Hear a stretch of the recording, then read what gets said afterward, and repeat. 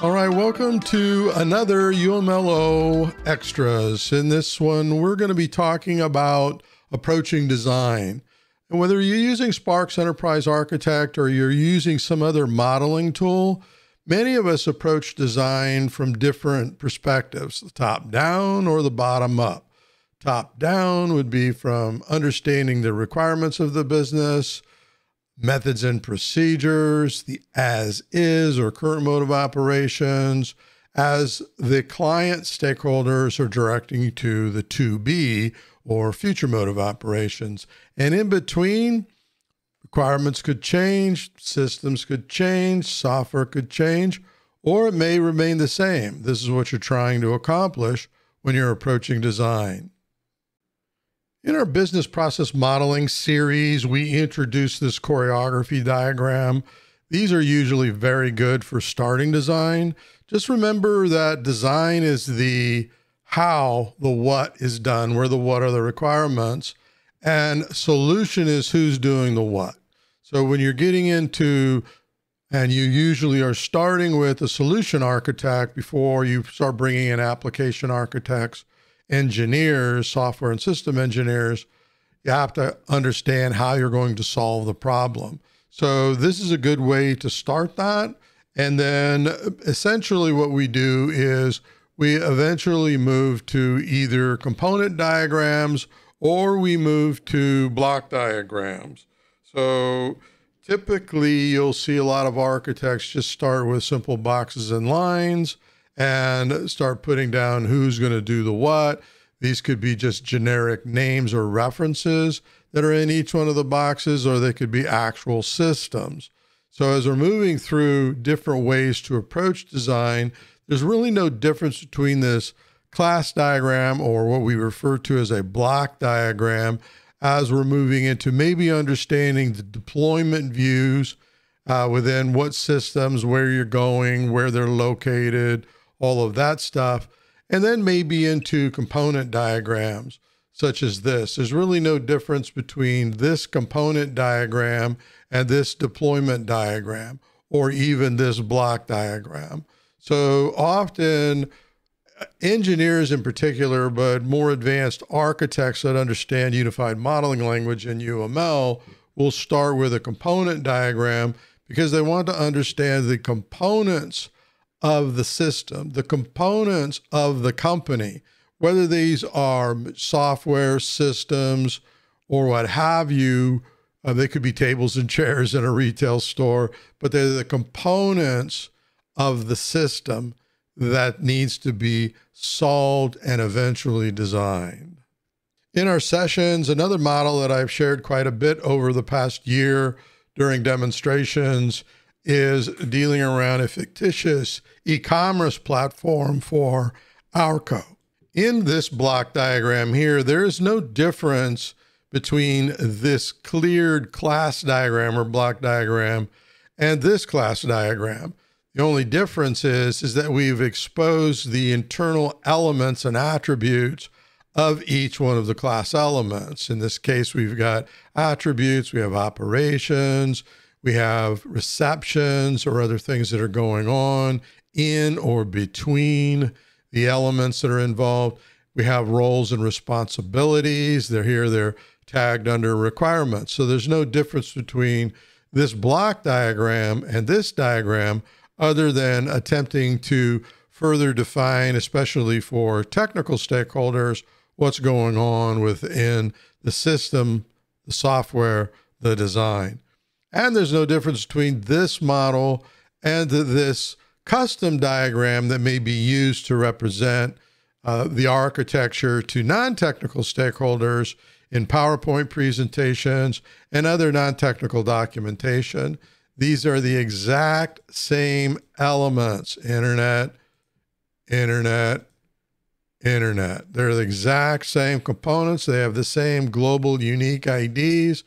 As previous session, we spoke about inspector so that when you're looking at an element, you understand the relations, the requirements, as you're inspecting the intelligence under each one of these elements. So you can see that you're able to inspect the data based on the global unique ID as you're building design. So you're able to start with very simple block diagrams, or if you wish, you can go out to component diagrams. You can go out even to choreography models, which is one of my favorite approaches, understanding stakeholders, participants, systems, and software.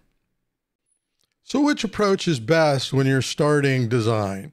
Whether you, you're using or you're working with uh, non-technical stakeholders and or technical stakeholders. Typically, what we'll see is solution architects, analysts that are working between the two stakeholder groups will start with a block diagram. It's the simplest way to approach anything that you're doing.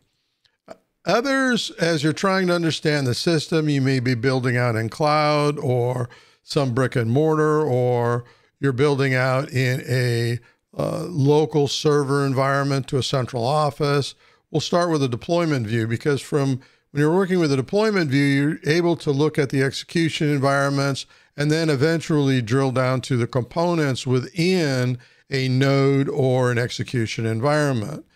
Another way is just starting with a component diagram. So these components that you're seeing here were derived during this deployment exercise as they were building out the components and how they're going to work together. So when was best to use a component diagram? Well, the answer to that is when you're trying to understand, well, how do these components work together? How do they interface?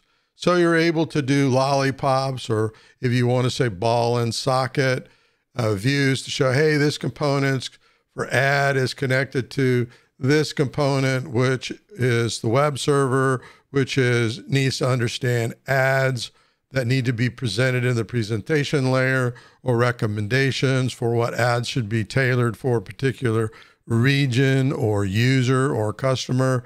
And then there's, well, how do we assemble the connection between ads, recommendations, and uh, product catalog? Well, this is a much easier way to help understand how things are connected. So, component diagrams are a good way to approach. Just when you're approaching design, just know that in Sparx Enterprise Architect versus other tools, you have the ability to further define an element all the way down to scenarios. You're able to simulate the architecture at any level, how requirements, rules, policies are going to be exercised. Using component diagrams in cahoots with chore- choreography diagrams or other BPMN diagrams gives you the ability to drill down into potential interfaces. So in this case, in this component diagram, we have a component called cart.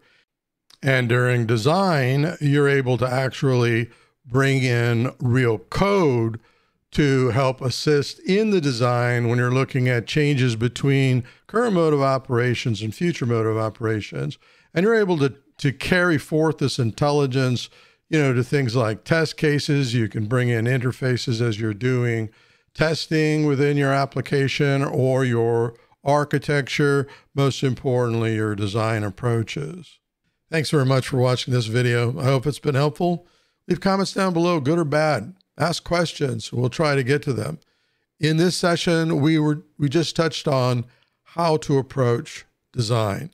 The most important thing to understand is that you want to get to design as soon as possible. Don't get stuck in analysis paralysis. Don't get stuck in do we have all the requirements? Start early, as I've talked about in this channel.